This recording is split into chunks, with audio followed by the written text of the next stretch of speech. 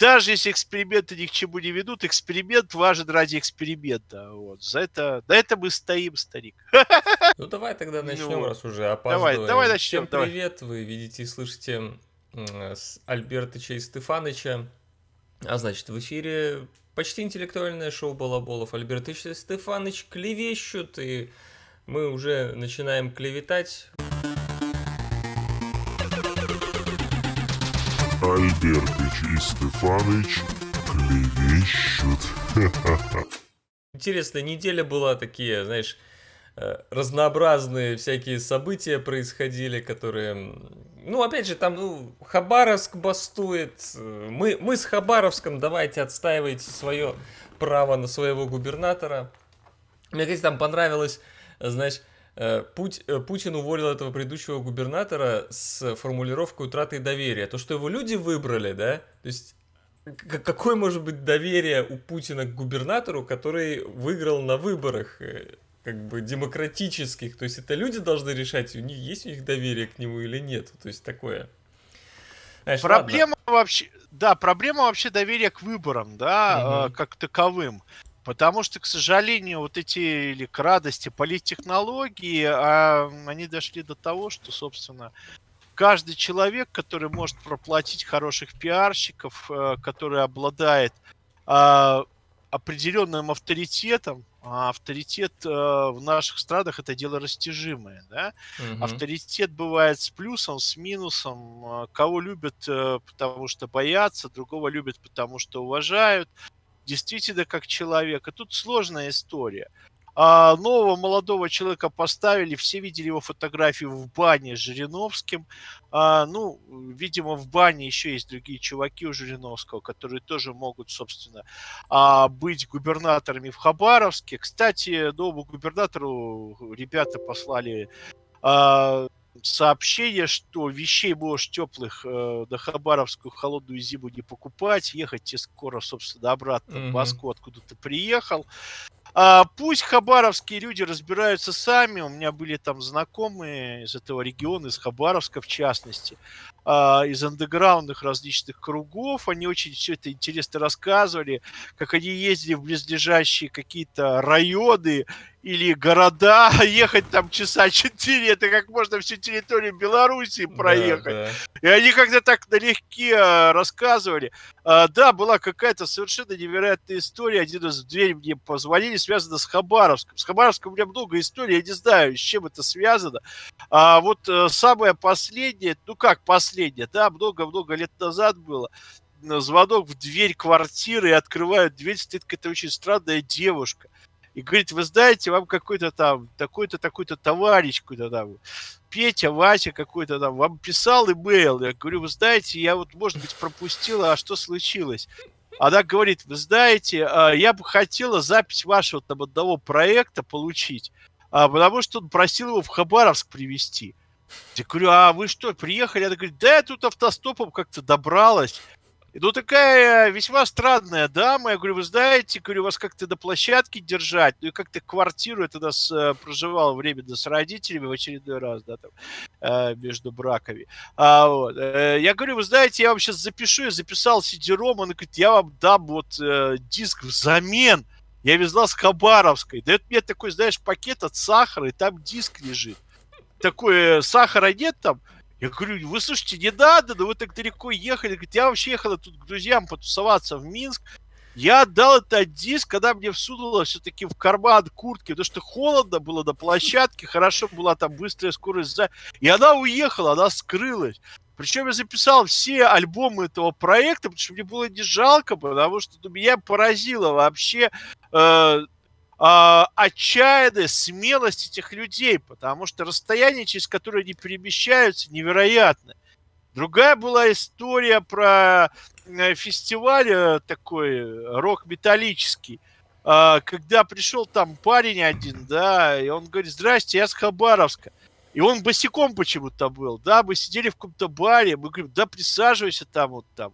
А, мы поговорили с ним, он говорит, а я вообще татуировщик, я вот тусуюсь, езжу, тогда еще Советский Союз только распался, все ездили там с паспортами советскими. А где ты остановился, бы спрашивал. Да я вчера после фестиваля в коляске под лестницей спал.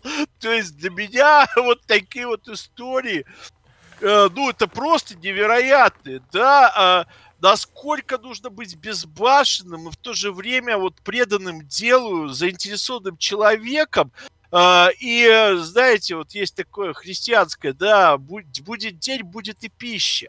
Но в это надо верить по-настоящему, да, и не бояться. То есть, и вот эти люди, вот, которых я встречал вот оттуда, они именно были такие. Будет день, будет и пища, они получали, они совершенно вот бескомпромиссно э, совершали какие-то невероятные поступки.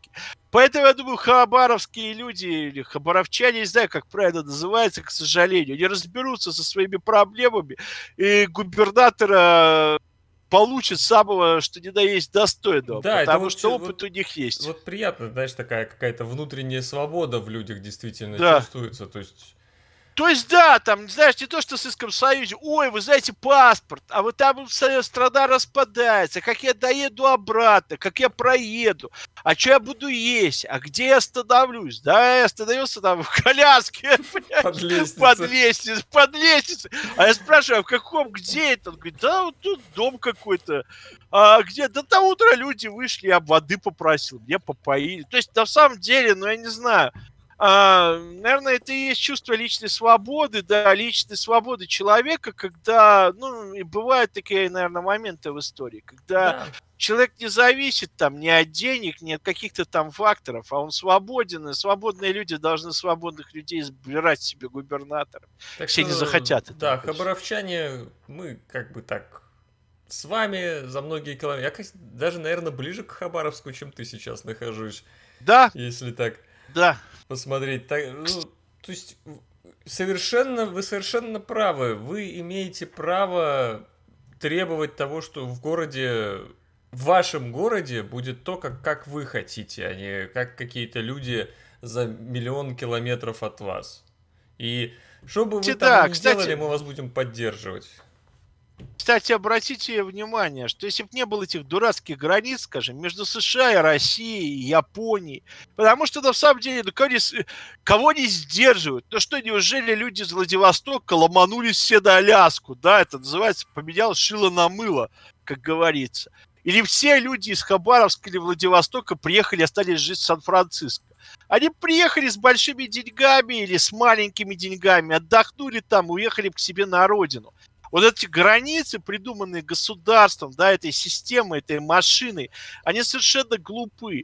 И, кстати, к вопросу сказал, да они близко находятся. Uh, как бы зажил, не знаю, туристский там шоу-бизнес, если бы этих границ как таковых не было, дурацких да. совершенно.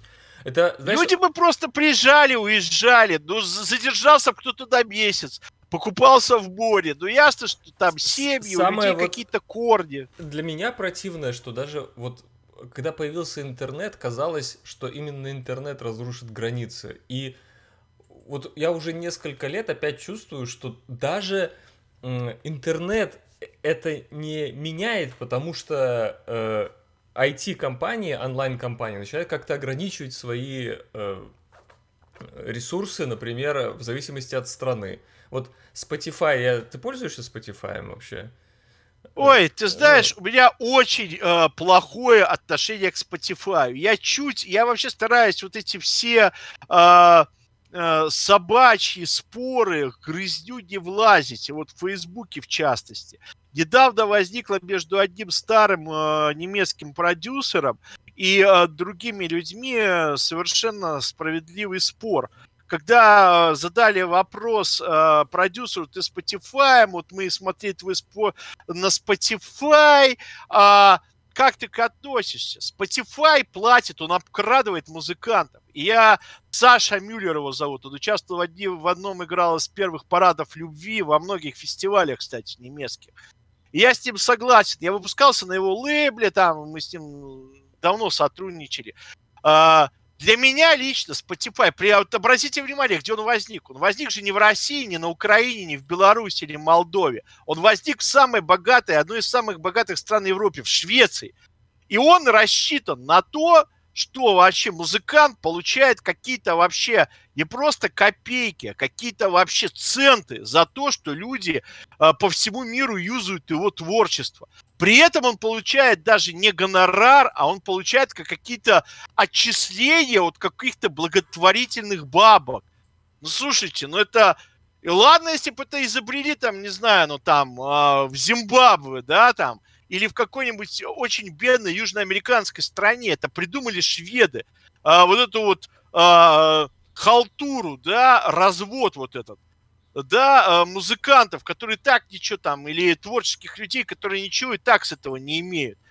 Вот Spotify вот он жирует на этом. Кстати, на Spotify есть очень классная фишка. А, ко мне обратился один директор финского такого лейбла, там, директор трех IT-компаний, а, и мы вошли в заочный спор. Он говорит, что-то у тебя на Spotify мало прослушаний. Он мне скинул пару там а, э, э, ссылочек, да, на, в том числе на постсоветских музыкантов а, с постсоветского пространства, которых там миллионы прослушиваний. Я стал разбираться, человек дотошный, вы уж извините. Оказалось, а, мне очень многие люди предложили сразу систему накруток в Spotify. То есть ставятся 4 компьютера. Ребята, кто компами занимается, вообще программисты знают. Э, ставятся боты, да, которые накручивают. То есть эти артисты, многие реально вообще, их вес э, 3 грамма. Интересы к их творчеству там 0,5. Вот они накручивают вот эти вот прокрутки, да, спотифаевские до поры до времени. Был эксперимент. Один парень там записал три ноты просто, абы каких. Сделал это как композицию, зарегистрировал на Spotify, накрутил себе невероятное количество прокруток. А потом написал об этом статью. Ну, так Spotify исследовал. Ну, там программист, человек исследовал интернет-пространство. Кому интересно, это все есть описано. Я не буду, как говорится, что тут люди умные нас слушают, а, и они могут сами об этом прочитать. То есть я не хочу использовать специально, я принципиально не использую никаких ботов. Ни в Шазаме, ни в Spotify, на Нидизере и на других. Вот сколько людей реально послушали, сколько интересно, э, лайкнули или не лайкнули, написали дерьмо это. А, но, по крайней мере, их это заинтересовало. Вот столько я и получил, столько и мое. Это идиллический, романтический, неправильный подход. Из-за этого там, ну, а, может быть, было бы больше выступлений, более широкие туры, больше рекламы и так далее. Но вот таким дерьмом... Я, кстати, с моему другу врать не буду. В Чехии он проживает, занимался он всякими компьютерными хитростями, хитросплетениями. Я спросил, он сказал, да, слушай, дружище, не в Даркнете ищешь там пацанов, они тебя накрутят там, в общем-то. Кстати, YouTube это тоже касается. Э, и наши программы, да, мы могли тут накрутить такое количество, то есть с, с помощью специальных ребят, что мы бы были тут э, звездами, так сказать, эфира и бог знает чего. Кстати, это не так дорого стоило, да, там вся как бы музыка стоила там пару штук там, и глядишь уже как бы в дамках. То же касается многих музыкантов, кстати, немецких музыкантов, не только там среди них украинцы попадаются там э, из России или там из других стран постсоветских. Немцы присутствуют, аргентинцы, бразильцы и так далее. Я не хочу говорить, что все сто процентов накручивают это дело.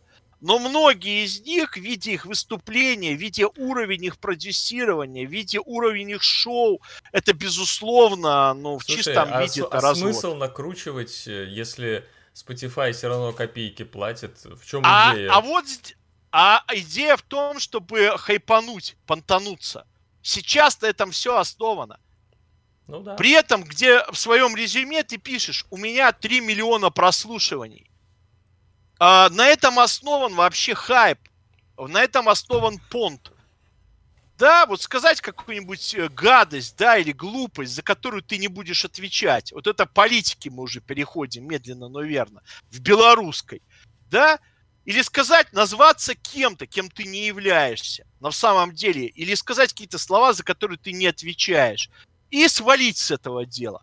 А Но... остальное пусть расхлебывают другие а, люди. Нам сразу, Это, в, а... нам сразу да. в комментариях напишут, что так мы что еще такие же. Мы же говорим те слова, за которые мы не отвечаем. Я за свои слова готов всегда ответить. Я говорю то, э, во что я верю, э, о чем моих, занимаюсь. Да, да, чем занимаюсь и за эти слова я действительно готов отвечать. Собственно, Стефаныч да. точно такой же и, ну... Так же. То, то есть, в данном случае, к сожалению, вам приходится верить нам э, на слово.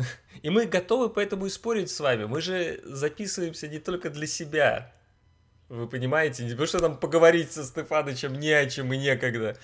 А чтобы в комментариях приходили другие люди и с нами и спорили, и дополняли, и мир же, мир же огромен и замечателен. И... Кстати, извини, хотел, да, закончить телегу с этим Spotify, угу. да, окончательно. Вот у меня спор состоялся в очередной раз там с близкими достаточно людьми, они говорят, да слушай, прекрати ты, уже не будет того времени, когда ты там продавал диски, винилы, кассеты, да, и с этого там получал или не получал бабок там и так далее. Spotify, Deezer, да, вот эти все платформы, там Яндекс, да, которые вообще непонятно, YouTube, который тоже там причисляет 0, там миллионную сотую процента за тяжелый труд, выполненный креативный который тоже так же, э, в общем-то, создателей, творцов обкрадывает нагло и бессовестно. Ты уже не будешь это получать, поэтому смирись, чувак, с этим. Да вот смотрите, э, реально я получаю деньги, допустим, с битпорта, да, я реально получаю деньги с Juno Download, с TrackSource, да, э, с Гугла даже с того же. Я получаю даже деньги с рингтоном, хотя не заморачиваюсь, я их там не сижу, не леплю эти рингтоны, как есть люди. Я их специально вообще не промоутирую, эти рингтоны. Да, но тем не менее. А на Ютьюбе что приятно, да, можно слепить какую-нибудь там чушь или не чушь, и, в общем-то, такой домашний кинотеатр, да, в общем-то, посмотрели, не посмотрели и так далее, да, более-менее. Но э, все вот эти конторы, меня поражает, что они созданы, всегда поражало, созданы в самых богатых странах мира, да.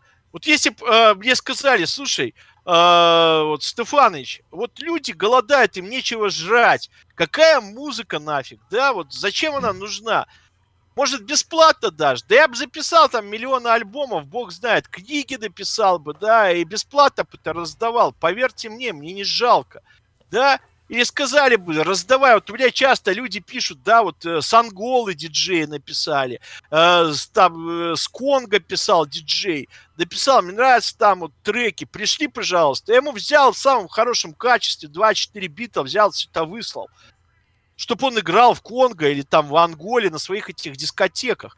Мне не жалко человеком поделиться. Или человек написал там, не знаю, с Никарагуа, с Сальвадора. Да мне не жалко вообще поделиться этим. Я более того, специально вы трансфером высылаю в самом хорошем тра- э, качестве, чтобы люди могли поделиться этим, пользоваться. Мне не жалко. Но вот когда люди, которым, извините, которые на этом мало того, что косят капусту, хайпуют, да, и так далее. Э, ну, это просто, ну, свинство, на мой взгляд. Хотя эти люди воспитаны, вот если с ними встретиться лицом к лицу и говорить, а давайте, пацаны, это обсудим. Я могу сказать, что они скажут. Они скажут, слушайте, это же капиталистический мир. Это же умение зарабатывать. Ты что там, да? Мы Но... берем процент с благотворительных я... акций. Да, мы берем. Это нормально. Для них это нормально, пойми. Вот и все. А, ну, я бы еще сказал, что именно в Швеции самая, самая большая популярность у пиратской партии, то есть вот этих ребят, которые вообще против э, авторских прав выступают, именно в Швеции а, она, по-моему, и в парламент прошла, и пиратская бухта Не только. точно там была э, сделана. Э, тоже в Швеции. То есть это очень такая... Это люди, которые работают на некомпетентности и э, желании получить что-то бесплатно. В основном это люди глубоко некомпетентные, к сожалению. Недавно чешский представитель пиратской партии, который является одним э, из, э, э, так сказать, представителей пиратской партии в мэрии Праги, да, он приехал в Белоруссию. И он начал какую-то вообще там туфту разгонять, что в Минске плохой воздух некачественный. Мальчик перед тем, как вообще рассказывать эти сказки, вначале бы посмотрел Евроньюз и вообще европейские прогнозы. Какая степень загрязнения воздуха в Праге? Потому что в Праге вообще люди топят дровами, углем, там, торфом и так далее. Зимой там вообще нечем дышать. В Минске воздух по европейским, а, опять же, анализам европейских различных институций, он чище, чем в Праге в несколько раз. И белорусские всячески оппозиционные или вообще там, да не оппозиционные, просто типа альтернативные СМИ эту пургу распечатали везде. Туфту, да, полную, некомпетентную. При этом он говорит, я член пара партии вот пиратов, и я вот за свободы, за свежий воздух. А, в Беларуси еще оказывается, слушайте, из-за того, что люди в барах курят, воздух очень как бы плохой и некачественный. Так там написано или видно, где люди курят. Ты туда не ходи просто, да, да вот извините. Что ты прешься, да? А в Праге многие люди употребляют наркотики, а в Праге публичные дома, а в Праге используют малолетних э, в виде проституток, детей, а в Праге избивают цыган, а в Праге еще много чего. Наш знакомый, который эмигрировал, недавно отказался от чешского гражданства. Он вернулся в Беларусь. Он много чего там порассказал, ну, да, слушай, там. Давай, Поэтому, да, да. давай так. Это про пиратскую самом... партию, да. Ну и скажем так, Чехия действительно в Европе выглядит немного, ну, маргинально, скажем так, потому что э, соседняя Польша намного лучше выглядит, и, ну, я уже молчу там про Австрию, э, даже Словакия получше выглядит. То Ты, ну Чехия... больше вот про Чехию, про Чехию вот э, меня поразило. Белорусские мигранты, да, которые уехали, которые там подложно геройствуют, сидя в Чехии нынче, да, там кричат все на площадь, все бросимся под дубинки ОМОНа и танки ВДВ, да, ну чужой задницей, да, как mm-hmm. говорится, всегда человек смел, а, вот. А, вот они а, написали а, обращение к, к Земану, да, с тем, чтобы он а, обратился к белорусскому... Чехии, я объясняю. Да, а, да, чтобы а, он потребовал от белорусского правительства прекратить репрессии. А, вот это а, для меня вообще шок. Земан друг Путина. Земан связан с да, русскими корпо- он, компаниями он и корпорациями. Зачем эта видимость этой деятельности? Ну, они что, не понимают? Они вообще не знают, кто такой Земан. Они могут у своих Ой. чешских друзей, они живут с десятками. Вот меня это поражает, вот эта глупость, либо осознанная глупость. Зачем это делать? Вы Путину напишите, это было бы более действенно. Ну, это как... Чтобы э, он поговорил с Александром Григорьевичем. Как ну, Наутилус Помпил успел, надо делать отсутствие дела. То есть, вот Ребята занимаются вариант. отсутствием дела только в путь. Так, у нас 23 минуты выпуска прошло, и только сейчас мы переходим к первой новости, которую я хотел обсудить. А у нас будет мало новостей сегодня. У нас будут эмоции. Эмоции, Twitter, истерики. Твиттер, Твиттер подвергся одной из крупнейших хакерских атак э, в своей истории. Вообще замечательное, замечательное событие. Э, хакеры э, на множестве, на большом множестве официальных твиттер-аккаунтов всяких звезд, политиков, бизнесменов оставили записи о том, что, э, ну там, например, от Билла Гейтса было типа твиттер, что вот я давно слежу за биткоинами, давайте, если вы мне переведете какую-то сумму вот на этот биткоин кошелек, то я вам верну в два раза больше того, что вы мне переслали. И вот такое было Э, опубликовано на множестве аккаунтов, э, провисело, ну, несколько часов провисело в итоге. И тогда только начали разбираться, что же произошло. Тут вообще, конечно, много всего прекрасного. Во-первых, э, Твиттер оказался в итоге не взломан хакерами. Вообще современные системы уже довольно практически невозможно взломать на самом деле. Вот типа сесть за компьютер и как там Нео сидел по клавишам бил. Э, в данном случае была использована социальная инженерия, то есть э, каким-то образом вышли на сотрудников Твиттера, у которых есть доступ э, к административной панели, и либо у них узнали пароли, либо их подкупили, либо еще как-то, и получили доступ вот этой Альбертыч, вообще, мне кажется, панели. знаешь, Альбертыч, Но. Ну. у меня ощущение, что один из работников Твиттера долгое время пытался вообще продать эти пароли потому что они никому не были нужны, потому что э, вся цена этой операции сколько? 125 штук баксов, да, да заработали. Да. Э, это можно, так сказать, ну не знаю, собрать по Манхэттену бутылки, сдать, и будет тот же результат, да, чем от этой хакерской операции, за которую еще срок могут впаять, да, там какой-то. А, можно работать, не знаю, там, сделать 5 такси и в Нью-Йорке работать как бы под левыми аккаунтами, заработать там за 5 суток тоже такую же сумму. Ну, то есть, то есть чтобы а, вы поняли, перевели, знаешь, перевели да, на эти биткоины, да. я просто объясню людям, что все вот эти ага. операции биткоинские, они видны. То есть вы можете просто видеть, э, сколько денег на этот кошелек приходит, уходит и в течение этого времени. И э, пока не потерли 125 тысяч долларов э, мошенники всего лишь заработали. Ну, всего лишь, потому что это действительно у вас была такая власть, вы могли э, очень сильно повлиять действительно на какое-нибудь на общественное мнение, э, куда-то перенаправить этот трафик людей, чтобы они что-то увидели, что-то сделали. В итоге вы попытались просто украсть деньги, и 125 тысяч долларов, это даже, даже я не знаю, какой-нибудь захолустный филиал банка, наверное, больше будет иметь, который вы ограбите в Америке. То есть, ну, это ну, настолько Это гипермаркет, понимаешь? Да. Это, это, это гипермаркет в конце дня, понимаешь? И то может быть там сумма намного больше, потому что американцы любят всякое говно, ой, извините, да, покупать всякие ненужные вещи, да, и забивать им дом, да, вот шопинг. Да, это психическое заболевание. Люди много жрут э, плохой вредной еды и покупают ненужные вещи. А, вот, для того, чтобы стресс снять. Э, это со всей любовью к американцам, потому что жизнь очень стрессовая. Mm-hmm. Очень много различных испугов, очень много проблем.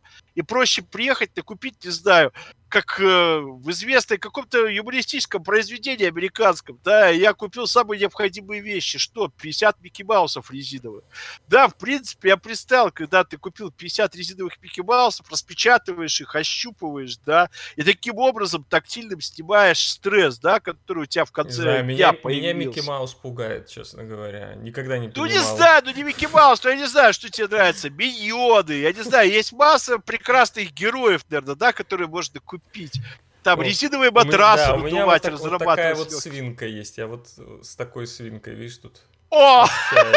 Кстати, я-то думал, э, что-то у тебя должно быть. У тебя сколько их штук ты приобрел? Одна. Одну, две? Это, кстати, в Икее была, по-моему, за доллар куплена, когда ездили покупать себе мебель тут хоть какую-то. Вот поэтому она тут и э, тусит со мной. Или, возможно, это он. Не знаю, я не проверял на пол, кто это. Да, слушай, да, не будем этого касаться, да. Так, самое вопросы сейчас, сейчас да. Твиттер вовсю параноид, там же многие знаменитости, когда им вернули, ну как, Понимаете, там нельзя вообще сказать, что у, них, у них забирали доступ к Твиттеру. Там просто эти мошенники воспользовались э, самой админкой Твиттера, чтобы запустить во многих э, местах свои сообщения. Так вот, некоторые знаменитости как бы э, написали, ну раз такая фигня пошла, давайте вы на мой биткоин кошелек, там на какую-нибудь благотворительность пришлете, а так как там опять... По... Или некоторые просто прикольные всякие сообщения со странными биткоин кошельками, ну это уже сам настоящие владельцы аккаунтов сделали. И Твиттер начал их банить тоже, потому что типа очень похоже было на ту же мошенническую деятельность. В общем, Сейчас в Твиттере там паранойя. Ну, тут вот это самое интересное, когда... Э, Слушай, это упали, да, кстати, упали, да. Доступ получают именно не потому, что они что-то взломали, а потому... Не взломали вот код э, сайта, а взломали людей, которые этим сайтом пользуются. Ну, в смысле, вот нашли к ним доступ. Ну или как э, Стефанович говорит, что эти люди вообще сами хотели эти пароли продать. Но э, как воспользовались этими, этой возможностью, тоже очень странно. То есть такой, сейчас мир такой немного, вот как ты говоришь, на хайпе. Вот у меня такое ощущение, что это было скорее для хайпа. И потом где-нибудь в резюме эти чуваки пишут, мы взламывали твиттер, потом куда-нибудь посылают там в Аль-Каиду, чтобы их взяли на работу, или какие там в Не только в Аль-Каиду, если в, лю, в, лю, в любые, да, организации, да, там, Красный Октябрь, колхоз э, Светлый Путь, или там, наоборот, Темный Путь, это Даркнет, да, колхоз, э, колхоз Темный, темный Путь, это вообще будет. Темный Путь. С председателем лучше... сельсовета Дарт Вейдером. Да, это вообще Дарт Вейдер рулит, да, он с косой еще, знаешь, как смерть такая сельскохозяйственная тема, как группа Дез, да, Дез металлическая. Там у них всегда я, были какие-то я косы вот хотел, торчали, да. Я хотел спросить наших зрителей и слушателей, вот если бы у вас э, была возможность в любом аккаунте Твиттера что угодно написать, вот как бы вы эти, этой возможностью воспользовались? Просто, ну, это в некотором роде одна из самых популярнейших социальных сетей, и это влияние на огромное количество людей одномоментно. Этим, если к этому было подготовиться, то этим можно воспользоваться было очень серьезно. Например, Знаешь, да, это повлияло, кстати, очень бы серьезно. вот эти анархисты, они могли бы вызвать дофига людей на улице в каком-нибудь из городов. Пока, пока с этим разберешься, а там уже, знаешь, восстание Знаешь, ну, началось. ну, ты знаешь, это переоценка все-таки влияния Твиттера. Другие сети больше влияют, на мой взгляд, субъективный. А, э, повлияло это на акции Твиттера, да, то есть вообще uh-huh. это была, на мой взгляд, больше а, не акция кого-то развести до бабки, биткоины, а вообще э, сбросить э, цену за акции, да, Твиттера. Угу. Второе, вообще по Твиттеру у меня такое ощущение, что чуваки вообще хотят этот проект закрыть. Да, вообще к нему отношение вот он существует благодаря Трампу. Вот Трамп это главный фанат Твиттера. Вот помнишь, была сеть такая, MySpace называлась. Говорят, mm-hmm. она существует, ее Timberlake или кто-то из этих а, мальчиков популярных купил, но, как вы уж говорили, а, его интеллект перетек в сеть, поэтому сети пиндык достал полный, да, там, кирдык и так далее. Она вообще а, планировалась как сеть для общения музыкантов, каких-то творческих людей. MySpace нету. Кстати, у многих остались аккаунты в этом MySpace. А, это всегда прикольно наблюдать, это, знаете, такая ретро-сеть, она, может, и существует. Вот тоже будет и с Твиттером, да, на самом деле Твиттер пережил себя, а, и вот несколько людей, а, среди них там Трамп, рыдающий Кенни Уэст, потому что, ну, я не знаю, это, конечно же, эксплуатация психически больных людей с эмоциональными расстройствами, как Кенни Уэст – а, в предвыборной гонке, ну, я считаю, это извращение. Ну, нужно иметь э, человечность какую-то, да, гуманизм, о котором очень много любят американцы рассуждать, а, больного психически человека вообще пытаться использовать в качестве а, будущего президента, либо который должен создать массовку на будущих выборах.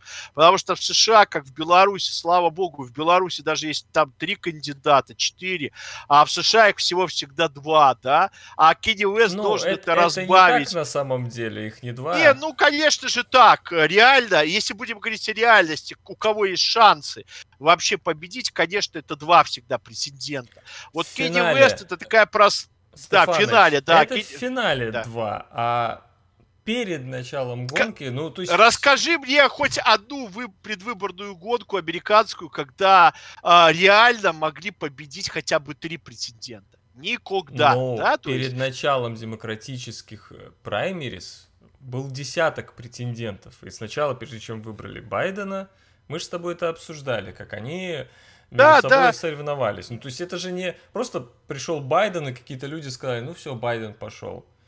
Слушай, в Беларуси любой вообще, в Беларуси были вообще любые маргиналы подавались в этот раз. То есть там были люди, которых, когда я увидел их, просто их знаю э, вообще лично, очень близко, давно. Вот. Когда они подались, я Видимо, понял, со времен, что... когда уже... они спали в колясках, да, под лестницей. Нет, нет. Э, ну, они тогда просто были тусовочниками, угу. да, скажем. У них даже еще этих коллективов не было. А, ты про этого, такой... про Изнича, который чувак, или какой, из какой он группы, я уже забыл правильно, ты все правильно вспоминаешь. Да. Ты его даже знал. Конечно. Понимаешь? Я когда увидел, что он пошел в президенты, думаю, господи. Именно, вот именно он должен идти в президенты. Альбертыч, ты уехал не вовремя. Ты стоял на пороге президентства да, в да, Беларуси. Да. И в этот момент какого-то тебя, не знаю, клюнуло, и ты поехал. Нет, в Калифорнии, конечно, теплее да, там опаснее, я понимаю, приходится ходить там с оружием, вооружившись, но понимаешь, в Беларуси перед тобой была полностью будущее. Ты стоял на пороге президентства. Ага. И, кстати, ты намного, ты мог пройти еще дальше. Ты мог даже собрать эти 100 тысяч подписей, придумать какую-нибудь там черную технологию, выставлять там, не знаю, у буфетов в вокзалах, э, не знаю, столики, где за 50 грамм люди могли расписаться за выдвижение тебя в кандидаты. А, каждые 50 грамм ты мог перевести в 100 тысяч, и ты бы увидел, что там за это количество ящиков водки ты бы вообще, а, в общем-то, в хайпе оказался.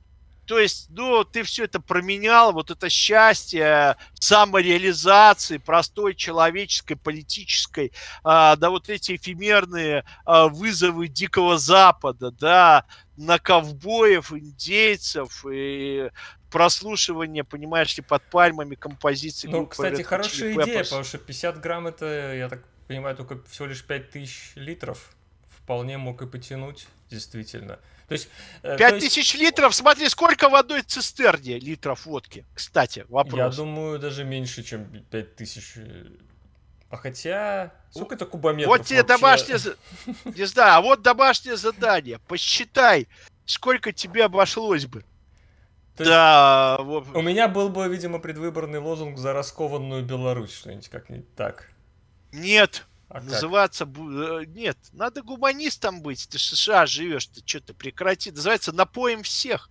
Или всем по капле, или э, в реку по капле э, Белорусу море. Ну, что-нибудь такое по колено, да, вот море. Всем по или капле море по колено. Минское море, вот это, наверное. Минское, вот, да. Тем более ты рядом недалеко жил, кстати.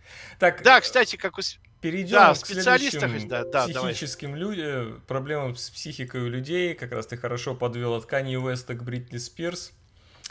Слушайте, а... это ты подвел, потому что это уже, э, извини, это клиника. Вот как бы Кенни Уэст это расстройство, а вот это клиника. Слушай внимательно тебя. Фанаты думают, что Бритни Спирс 12 лет держат под опекой против ее воли прямых доказательств нет, но все это выглядит очень-очень странно. И в сети э, приняло массовый характер движение Free Britney. Сторонники считают, что Бритни сама подает знаки с просьбой о помощи.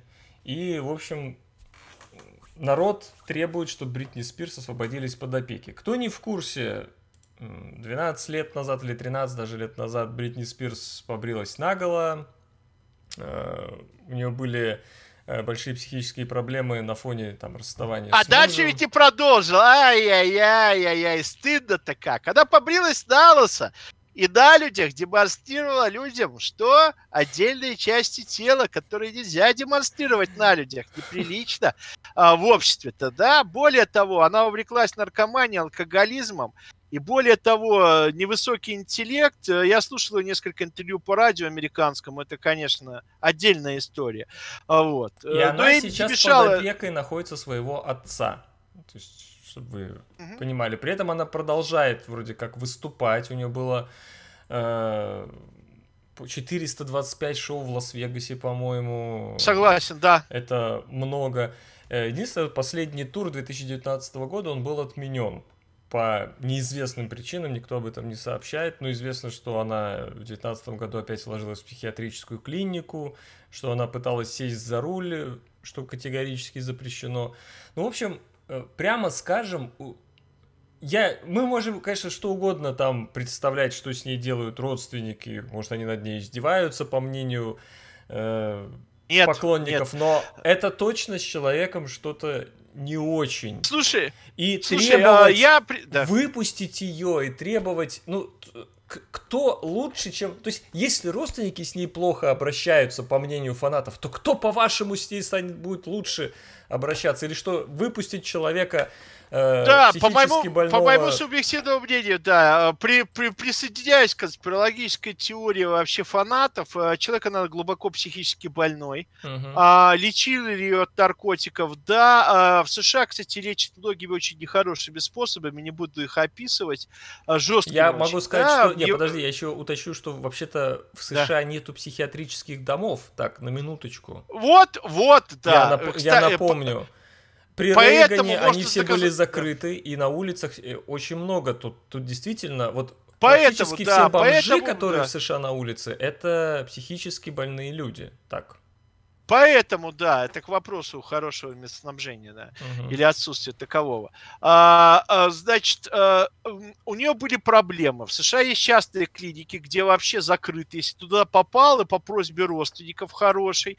А, плюс у нее, вы помните, ей запретили видеться с детьми собственными, да, она пыталась встретиться, а, вела себя агрессивно. А были протоколы из милиции, э, с полиции, пардон, а, американской. То есть а, человек человек как бы э, социально опасный. А при этом она является станком по зарабатыванию баблища. Да, это любимая американская тема. Ты работаешь же, а деньги как бы текут. А, та же, это если э, вот это уже в миллионный раз. Вот смотрите, да, вот э, несчастная близость. До этого был Майкл Джексон, помните? Его заюзали настолько, что когда ему вскрытие делал врач, да, такой чернокожий, нормальный там мужик, он сказал, слушайте, у него было внутренние органы и тело, состояние, будто он в Освенциме был. Он был худой, у него кроме препаратов в желудке ничего не было. Его держали, чтобы он играл эти, долбил эти долбанные шоу, да, зарабатывал бабки. Он просто помер, играя со своим сыном в кровати, да, там, чтобы сберечь силы, чтобы заработать еще бабок. То же самое с Бритни Спирс. Она станок по зарабатыванию бабок. Никому не мешает папе, маме, там, дедушке, бабушке держать ее, выпускать на сцену под присмотром кого-то и юзать, пока она не сдохнет наконец, да? Та же история с Элвисом Пресли. Элвис Пресли выходил с давлением, у него было давление 220-240. Его менеджер, там, не помню, как полковник там какой-то, он говорил, что там, да ничего, чувак, давай еще, еще. Он был очень полный, он еле двигался. Он приходил с кризами, да, в эту гримерку. И в итоге он сдох, помер просто. А потом, там, не знаю, листья от его резиденции, там трусы и носки продавали за огромные бабки. Там бородавки какие-то, зубы, там волосы обстриженные, бог знает что. Та же как бы история с Бритни Спирс. Те интервью, которые даже надавала в лучшие времена, еще во времена своей юности, как бы не выдавали в ней какого-то интеллекта, в принципе. А сейчас ее просто юзают, у нее есть какие-то фаны. Почему ее не привезли, не повезли на гастроли? Да потому что это в Европе, в каких-то других странах, когда ее будут перевозить из отеля в отель, когда она будет выходить на какой-то саундчек, если он вообще присутствует, если она не колбасит там в фонограмму, плюс один, да, и так далее и тому подобное. Люди увидят, что она находится под контролем, она просто невменяема. Да кстати, э, более такой вариант, когда человек просто по каким-то личным причинам э, довел себя до смерти, но при этом его юзали до последнего момента, это Эми Уайнхаус. Да, гениальная певица английская, у которой были глубокие личные проблемы, связанные с алкоголизмом. Джордж Майкл, который, как сказал там вот недавно, позавчера, да, или э, на этой неделе, на той неделе вышло интервью Элтона Джона, где он сделал очень много признаний. Кстати, главная была тема, это Джордж Майкл. И он сказал, что... А у него спросили, а с чего он умер? Он сказал, он не хотел жить, он не мог больше жить. Поэтому он умер. Да, и там есть рассуждения, там вроде Уэлтона Джона рак обнаружили, он там борется с очень тяжелой болезнью, и он рассказывает, что у него там были ясно в очередной раз там, о своих суицидах, о своих всяких проблемах. Вот Джордж Майкл его тоже заюзали до такой степени, что он просто помер. Вот это очередной человек, который, я не знаю, сколько у нее там здоровья, может, ее там содержат хорошо, кормят, там делают вовремя уколы. Потому что, кстати, в США там любой врач, ты знаешь, он транквилизаторы на раз, два, три прописывает. Как в истории с Марлин Монро, помнишь, да? да? да. Когда у Марлин Монро там сколько, 40 или 30 банок было с транквилизаторами, каждый врач ей там прописывал успокоительные. Она там 20 таблеточек выпила, шампанским запила и здравия желаю. А еще, может, там товарищи вот ее э, любимого мужчины там помогли, да, который там известный э, гуманист и известный президент Соединенных Штатов Америки, да, Это там Стефаныч на Поэтому Кеннеди тут... намекает, я так. Да, прозрачно. Поэтому здесь вот эта история. Мне очень жалко этого человека. Потому что, в принципе, она могла успокоиться за те деньги, которые заработала, остаток да. жизни, счастливо или несчастливо провести у бассейна с массажистом, да, не рыдать как от боли, как Леди Гага, да. Глубоко больной человек но она выступает на этих огромных каблуках, она орет, плачет, да, там стоят массажисты, папа держит за руку а вокруг куча там менеджеров, пацанов, которые зарабатывают бабло, говорят, давай, давай, давай там закрытие какого-нибудь бейсбольного чемпионата, ты должна спеть, ее под руки там выводят, и она там э, между э, потерями сознания пытается себя что-то выдавить, да, Вот этот весь шоу-бизнес, да, вот этот кошмарный, который эксплуатирует, издевается над людьми. Мне нравится самый человек такой сильный. Я по-разному отношусь. Кстати, было вот э, на прошлой неделе скандальная ее селфи, это Мадонна, да, человек, который ее сколько давили, сколько душили, она сейчас на костыле. Как выглядит человек в возрасте после 50 с таким бэкграундом и с такой жизнью? Да как бы он не выглядел, главное, что она жива хотя бы, да? Потому что у нее куча и болезней, и психических, и душевных, и физических, но она как бы стоит, она выстаивает, э, постарается выстоять в этой бездушной системе капиталистической шоу-бизнеса. И она с этим сфотографировалась костылем, и ей еще написали кучу гадостей.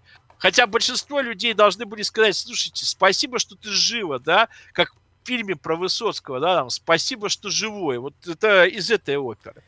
А, общем, у нас сегодня, кстати, понесло в шоу-бизнес. Да, там, история, видишь, история твит, Бритни... твит и твиттер, да. Угу. История Бритни Спирс, конечно, очередной очередной показатель того, что если вы успешны, это еще совершенно не значит, что вы счастливы. И у вас могут... То есть, ну, вы советуете, что вам важнее, но с другой стороны, вот эти фанаты, это просто просто трендец. Они, они, же, они же этого требуют просто себе на потеху, понимаете? То есть вот это требование выпустить э, клоуна на улицу, чтобы с него в очередной раз посмеяться или получать какие-то приколюхи, которые он может сотворить на улице. Это ну, так противно, это какой-то новый э, зоопарк. Слава богу, что теперь в этих новых зоопарках на людей смотрят, а не на животных. И, кстати, ты как, ты за закрытие зоопарков? Ты любишь зоопарки вообще? За закрытие за зоопарков, но я против того, чтобы закончили э, биологи исследования. То есть я не хочу, чтобы издевались над животными, но я считаю, что наука идти должна да, вперед. Да. А зоопарк как способ развлечения людей, как и э, многие варианты дрессировки животных должны закончиться. А Согласен. есть животные, которые там, э, да, это сотни тысяч, больше, там я не историк, честно, а лет живут с людьми. Это лошади. Я вот прекрасно видел, как лошади благотворно влияют на состояние больных людей, детей, инвалидов, психически больных, когда с ними общаются, коты, собаки. Они всегда жили с людьми. Это очень хорошие наши друзья, прекрасные, которых надо беречь, о которых надо заботиться, не обижать их. Но они привыкли с нами жить. Но есть животные, которые изначально они жить, жить должны на свободе. Потому что многие, ну, домашние животные, ну, не выживут они, да. Ну, коты, конечно, хитрые. Я много раз наблюдал, как они в лесах выживают, собаки одичалые, да. Вот они могут выжить. Есть животные, но которые не могут выжить, там, попугайчики какие-нибудь, да, там, и так ну, далее. Давай но о, о, огромные животные, да. О таком животном да. человеке, который не может выжить среди людей. Э, очередная новость из Америки. Э, и полиции американской веселой. Э, жительница города Кольер... Кольервилл, штат Теннесси, э, вызвала э, полицию, так как ее муж взял ружье и угрожал покончить с собой. Полиция приехала и этого чувака застрелила. Как, как так получилось? То есть, по идее, когда в подобных случаях звонят в полицию, то высылают специальную группу, которая разговаривает с человеком, пытающимся покончить с собой, всячески его убеждает. В данном случае послали просто обычного офицера полиции. Ему даже, видимо, не объяснили, почему его вызвали. Э, офицер по имени Остин Уэкспек потребовал от мужика бросить ружье, направив на него пистолет, и менее чем через 4 секунды застрелил его. Вот так. Знаешь, это, это круто. Это сервис просто на дому. Да. То есть, э, в общем-то, ведь смотри, так в Голландии какой-нибудь, там автоназия, нужны какие-то там разрешения. Тут, собственно, позвонил и получил свое сразу. В США вообще, конечно, это баловство с оружием. вот я высылал, э, такая статейка была с немецкого журнала по поводу количества перестрелок в Нью-Йорке, да, там за прошедшую неделю и выходные. Но я не знаю, но я понимаю, что там свобода ношения оружия и так далее и тому подобное – но, собственно, я все-таки за такое, даже если крайняя степень выяснения физическая с помощью кулаков, то э, реже люди погибают даже с использованием подручных средств, да, древних. Это камни, палки и так далее в драке. Ну, бытовое э, насилие здесь... с ножом, извини, даже... Не, я, я имел в виду не бытовое насилие, я имел в виду выяснение между бандами. 45 человек, убитых в Нью-Йорке за прошлые выходные, для меня это, конечно, шок. 45 а, человек, убитых на улицах города за один день, я не знаю, в любой стране вообще цивилизованной такое количество убитых, так это не только Нью-Йорка касается. А, это реальная статистика, об этом уже пишут немцы, это страшно. Да? Народ это... засиделся по домам, народ хочет Я понимаю, экшена. но для... Э, экшен не обязательно должен заключаться в том, что люди выходят и расстреливают э, семьи, которые находятся на пикнике, убивая ребенка одного года. Для меня это фашизм. Э, да? Для меня фашизм Послушай, это когда 22... Когда да. еще до всех этих коронавирусов, когда вон чувак в Лас-Вегасе взял автомат, залез на высокое здание и из ок... ну, снял номер те из помню, окна все, расстреливал все... Э, пришедших на концерт, э, которые там стоят. И это, это, конечно, можно говорить о том, что это вопрос свободного ношения оружия, не свободного. Кстати, опять же, это миф, что в США оно свободное. Это в некотором смысле тут тоже много всяких ограничений, э, это кстати, тоже интересно, потому что в разных штатах по-разному. Я просто для примера скажу, что в одних из штат, если у тебя есть оружие, ты обязан его носить скрыто, а в другом штате ты обязан его носить обязательно открыто. открыто. То есть у каждого свои по этому поводу мысли есть. А Но... ты пистик себе прикупил, покажи. Вот мне нет, интересно. Нет, Продемонстрируй. Ну, я был, я был э, в этом оружейном магазине, в принципе, за 500-600 долларов красивый пистолет можно купить. Я его не покупаю просто потому, что у меня нету сейфа, Грабеж где, где тебе... его хранить на самом деле. Я беспокоюсь, что до, не... до пистолета может тогда добраться кто-то кроме меня, если мне его прятать негде будет, понимаешь? А просто... 500-600, грабеж! Грабеж средь бела Нет, это красивый. Я помню неплохой браунинг. Браунинг, бери Браунинг. Мне всегда с детства дрались Браунинги, да, из фильмов а, а, «Времен войны», там были у офицеров определенной армии пистолет Браунинг. Мне всегда он нравился. И продавали в детском мире. Пластмассовый, правда. Бери Браунинг. Я, кстати, в Вене видел, по-моему, 220 евро. Что-то там американцы вообще загнули цену. Грабеж средь бела дня. Можно сказать, грабят трудовое население такими ценами-то на оружие. Могли бы подешевле. Может, какую берданку можно купить. Дело как бы не в оружии, а в умении вообще, в меткости. Да, да. Обрез! Ты знаешь, как белорусы обрезы. В тиски зажал, отпилил, так сказать, ножовочкой. А, можно, может, и за сто какой старый купить, как говорится, какую двухстволку-то. Вот. Под фуфайку и гулять, понимаешь, типа Сан-Франциско. Никто тебе не страшен.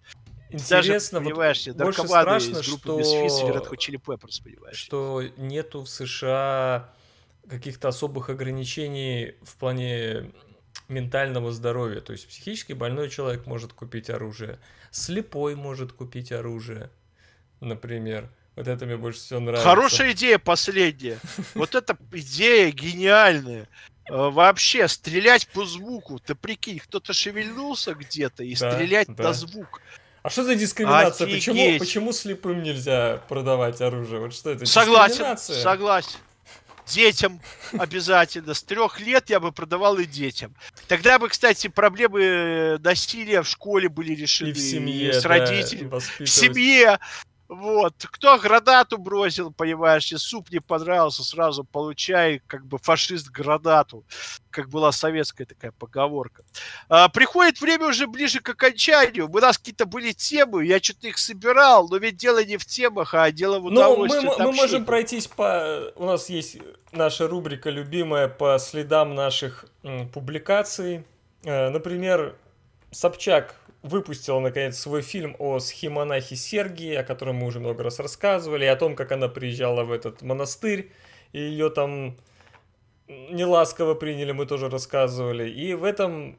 Ну, то есть вы на YouTube можете посмотреть, на сайте Ксении Собчак, собственно. Я, честно говоря, так мельком глянул, потому что ну, тебя не пустили в монастырь. То есть ты, ты, и ты не смогла поговорить с этими людьми. То есть явно это будут какие-то в основном догадки все-таки идти. Мне это не особо интересно. Ну, Там есть супер догадка да, да. вообще. Я вчера, честно, 20 минут я прочитал когда-то, я об этом больше другой не буду комментировать. Есть здесь не могу держаться. Там есть такая идея, что вообще за всем стоит Владик Сурков, угу. да, и а, его новый проект Распутин 2.0. Угу. А, во-первых, слушай, вот это явно конспирологическая телега. Но с другой стороны, я стал думать, а, там появились люди с ЛНР, ДНР, да, это проекты тоже владиковские. А, вернее, у него проект там назывался «Малорось», он там не один а, участвовал, там другие пацаны тоже изобретали это дело все. Но это тоже постмодернистский. Помнишь, Малороссия это вообще там у Гоголя, да? Угу. То есть это такая придуманная страна, да, там вот эти красные паруса вспомнить, да, там, не знаю, Республика Шкит, короче, да? А вот здесь как бы Республика Малороссия. Здесь идея тоже. А на самом деле я вдруг подумал, если это действительно так, то через лет 50-70 искусствоведы вообще э, мировые, они должны признать два, двух гениев да, э, российского постмодернизма. Первый это Павленский, который э, за счет э, издевательства своим телом, за счет мазохизма привлек внимание и старался и манифестов привлечь внимание э, вообще к общественной жизни, к корпорациям, э, к несправедливостям современного мира. И второй за счет э, создания эфемерных проектов, которые привели к смерти, смертям тысяч людей, да, это Сурков. Вот это две глобальных вообще фигуры постмодернизма, которые создали, это даже не искусство, это новый вид искусства. Это политический фарс, да, это политический перформанс, который является частью как бы современного общества. То есть это гиперлюди, гипермыслители. Меня удивило, когда вот, э, в общем-то, выставили из администрации, уволили Суркова, он отделался таким очень сухим комментарием. А ведь Сурков создал движение «Наши», да? Он создал очень многие вещи, да, идеологически. Это человек очень волевой человек интеллектуальный. Вспомните, он, да, делал тексты группы, э, там Агата Кристи писал текст, он написал ну, много книг. Но он, Это он писатель. Не пис, он не писал тексты группы Агата Кристи, он, у него был отдельный проект вместе с одним из братьев да. Самойловых. А, одним из Самойловых, неважно. То есть это на самом деле человек творческий. Это еще раз, кстати, доказывает, почему творческих людей нельзя пускать во власть. Вспомните творческих людей. Ты только Верон, что говорил меня, меня в президенты Беларуси. Нет, ты уже как бы э, с тобой уже отдельный разговор. Ты бы, кстати, садом ты не прошел, но, по крайней мере, попиарился. Вот. Открыл бы там в парке технологии пару фирм, заработал своих 3 миллиона, сидел бы там, не знаю, на Минском море в отдельной кабинке. каком-нибудь доме. Кабинки, да, жарил шашлык там и как бы думал о том, э, куда бы съездить, отдохнуть в следующий раз. А, возвращаясь вот к этой персоне Суркова, да, если действительно это постмодернистский проект, обратите внимание, это не искусство, это общественная жизнь. Но проблема, что эти проекты у творческих людей ведут к серьезным последствиям. А, дали штраф этому монаху, вот не дали, как сегодня опубликовали сумму, да. Второе, да, в этом участвуют люди – и а, вот эти постмодернистские проекты, это уже непонятно, а, где разница, где кончается искусство, где начинается политика, где а, заканчивается вера и где начинается фарс. Это очень интересно, да, это невероятно интересно, если это действительно так, если вот эти а, кликуши, эти э, деятели шоу-бизнеса, Собчаковские не, сорв... не соврали, что это действительно Владика новый проект. Если бы они объединились с Павленским, они бы, конечно, людям снесли крышу напрочь. Да, они бы изменили раз и навсегда ну, вообще современный мир. Меня в этой э, ситуации вообще всегда прикалывает, что вот какие-то, знаешь, начинается какое-то движение, и это обязательно, вот это чей-то проект, это вот заплатили деньги, это вот обязательно э, кто, кто-то, вот то есть просто э, человек что, чтобы человек сам свои какие-то идеи продвигал, такого не может быть. Это всегда должно быть за деньги. То есть, знаешь... Альбертыч, Альбертыч, Альбертыч, фишка в том, что Павленский свою мошонку к земле ни за какие деньги человек не прибьет. Даже похожая фишка с Владиком. Да, это э, по сути последнее, может быть, романтики, да, которые это делают из любви к искусству скорее, в большей степени, чем из-за бабла. Ведь смотри, э, Владик мог остаться легко Сурков вообще администрации Вовы Путина. Да, он мог быть прихлебателем, он мог, так сказать, э, подружиться со многими людьми. Я не буду выдавать инсайдерскую информацию. На переговорах многие люди, очень близкие Путину, да, когда им предлагали работать с Сурковым, они отказывались. Просто в открытую, понимаешь? Смысл в чем? Что он, э, его считали даже люди питерские, да, пацаны, которые давно Путина знают со времен еще э, обучения в университете, они считали вообще Владика опасным человеком. У них, они не хотели идти работать с ним. Они говорили, давайте обговорим условия и так далее. Не ломились они туда. И в итоге, кстати, вот э, Владик эту должность и потерял. Вот в чем фишка. А, и вообще, а, если это действительно такой постмодернизм, но я не знаю, самое высокое развитие тогда он у русских, конечно, потому что в других странах э, все любят там Бэнкси, есть масса очень талантливых людей, но людей, которые смогли вот это объединить э, такую политическую, социальную жизнь и э, собственно, с каким-то искусством или хотя бы с идеями какими-то из искусства, это, конечно, а, редкостная, интересная вещь. Ну и финальная, я думаю, новость очень такая, знаешь, расслабляющая. Более половины россиян заявили, что не пьют вино. Э, был проведен опрос в ЦИОМ. 54% э, заявили, что ни разу не покупали вино за последний год. Э, в возрасте от 25 до 34 лет эта доля составляет 61%. 46% э, россиян, соответственно, пьют вино, при этом две трети из них предпочитают красное, треть белое и розовое, потом 1% буквально.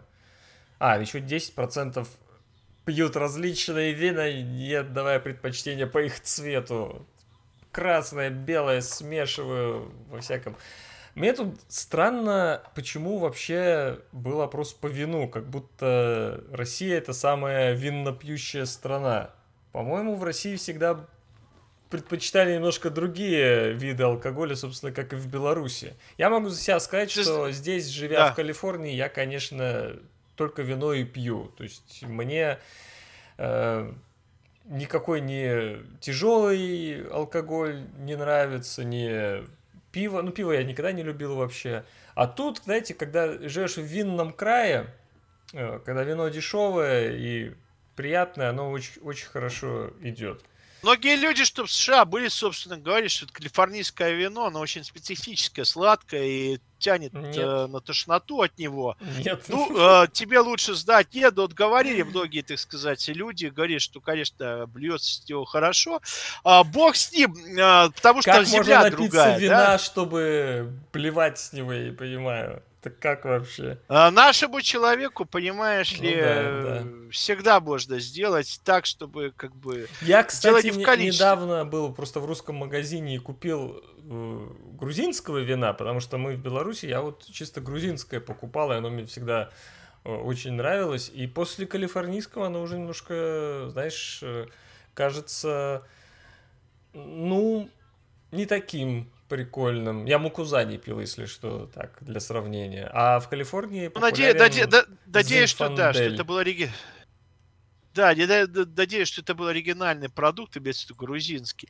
А, дело в том, что действительно... Это, кстати, похожая ситуация в Беларуси. Вот э, винные полки не уменьшаются, а, потому что после некоторых историй со здоровьем, да, я решил тоже, я уж, не знаю, лет 10 пьют только красное вино, так вышло, да. Хотелось бы, конечно, размахнуться, как по-прежнему, да, и войти вот в хорошее, нормальное состояние, здоровое для наших людей.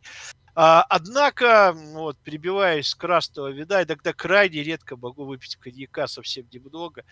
Это кошмарно, ужасно, конечно, но я вынужден вот э, прилюдно в этом сознаться, в таком грехе.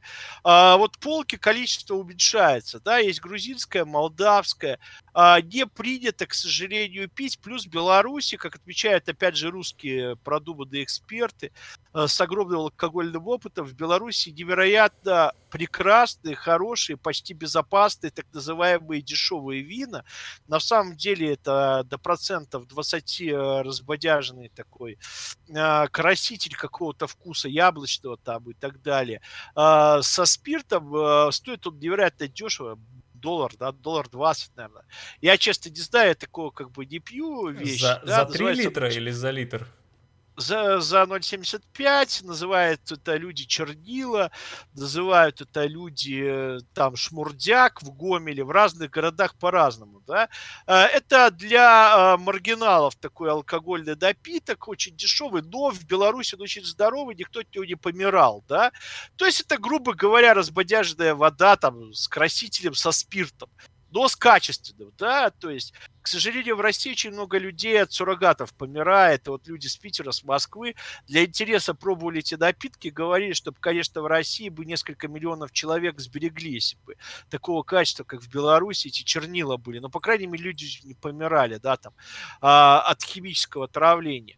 А, в Беларуси действительно есть красное вино, а, оно производится в основном разными да, фирмами, но вот есть госзаводы. Госзаводы покупают в Молдавии и Грузии оптом, разливают на месте, производят химический анализ, оно в принципе совершенно безопасно. Назвать его гиперкачественным нельзя, но с другой стороны есть явная гарантия того, что ну, плохо это дело не закончится. А в России очень много производителей. Плюс там есть санкционка, да, вот, по-моему, я не знаю, а, русские как бы слушатели могут опровергнуть или подтвердить, можно ли у них продавать испанские, итальянские натуральные вина, потому что в Беларуси это продается спокойно. Вы помните, были санкции на различные товары и так далее. А, здесь как бы история сложная, и не знаю, ну, тут дело вкуса, как говорится. Хотя, конечно, хотелось, чтобы люди употребляли исключительно напитки здоровые, которые меньше а, вред приносят. Последние исследования показали, алкоголь в небольших количествах крайне полезен. Красное вино, в частности, даже вот большинство долгожителей его употребляли в Испании, в Италии. То да, есть не сказалось да. это плохо на продолжительности жизни. Ну, это как Поэтому... знаменитая наша поговорка, что за надто, то не здраво. То есть э, просто знайте меру. А, а, вино, в, не, в нем ресвератрол, имеется одно из, э, я уже забыл, антиоксидантов или наоборот, антиоксидантов, наверное, да. Антиоксидантов, да. да. Э, что вроде как помогает организму жить дольше. Э, кстати, обрати внимание, вот все всякие эти алкоголики, они же не умирают от хотел сказать от цирроза печени. Как раз от цирроза умирают. печени умирают от цирроза, они как раз от него и умирают.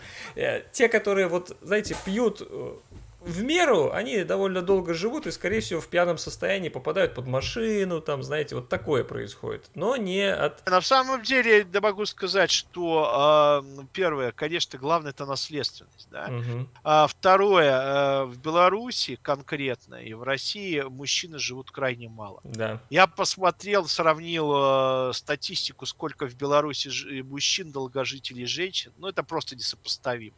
Ну, а, многие меня, белорус... слушай, белорусские меня... мужчины, как и русские, просто не доживают до пенсии. У меня, у меня вообще а... теория, что Беларусь это страна старых женщин, которые э, просто диктуют свою волю всему другому, всему остальному населению, потому что они выбрали Лукашенко в начале, они за него голосовали, их большинство мужчины, средний возраст белорусских мужчин 60-61 год. То есть вы доживаете до пенсии и умираете все нафиг. То же самое, кстати, касается в России. Я только про Беларусь. То же самое. Россия – страна старых женщин. И потом, то есть вы работаете на пенсию старым женщинам, и вы умрете, даже не, не, не сможешь воспользоваться ею. А старые женщины еще будут лет 20 жить, они будут воспитывать внуков, они будут выбирать тех людей, которые будут вами управлять, они будут занимать места в трамваях, они будут сидеть в очередях в поликлиниках, и они будут вам диктовать, как жить. Так что бывшие постсоветские страны – это страны старых женщин к сожалению. Это сказал, это сказал Альбертыч, а я считаю, мы будем делать, я буду все, чтобы количество пожилых мужчин увеличивалось, да. Вот, по возможности даже То есть, спиваясь, спиваясь, вы э, льете воду на мельницу старым женщинам. Надо с ними бороться, вы поймите. Вот э, я хочу, бороться чтобы, когда я выхожу, да, выхожу, выхожу из подъезда в Беларусь, я бы хотел, чтобы на, на скамеечках сидели старые детки, и на меня такой, пошел проститут-наркоман. Вот это намного приятнее, чем когда старые женщины сидят и пошла проститутка-наркоманка. Так Вы что... видите, как изменилось, да, желание, кому нравится после жизни в Соединенных Штатах Альбертыча, ему хочется нравиться мужикам. Старым. Пожилым. пожилым. Да, старым мужикам, пожилым, а лучше, чтобы они еще были обеспеченными мужиками. А вот на этой высокой ноте да, изменения... Можем заканчивать. Мы закончим, да. Напоминаю, что да. вы нас можете слушать на всех подкаст-платформах, а не только смотреть на YouTube. Не забывайте оставлять комментарии, мы их все с удовольствием читаем, отвечаем. Мне вот понравилось, когда у себя в группе э, ну, опубликовал наше видео, ты, наверное, э, этот комментарий не видел, там э, сразу чувак написал, Владимир Поповцев – Отличный наброс говна на вентилятор. Молодец, Лешенька окормил свою пасту, говни... пасту говнецом. Э, вот такие комментарии и заставляют нас э, что-то делать, чтобы вот э, люди приходили к нам с добром и писали добрые позитивные комментарии. Да, не просто, не просто, да, там, понимаете, насрал на коврик, а вот бросил вентилятор, да, вот побольше воображения, креатива. Подумайте, можно зарядить пылесос и включить в обратную, не на всасывание, а на выброс. Тут э, фантазируйте, понимаете? Да, да. Uh, future in your hands, как говорят наши американские товарищи. Спасибо, здоровья Бывайте вам. Бывайте здоровы, живите богато. Пока. Альбертыч и Стефаныч клевещут. Ха-ха-ха.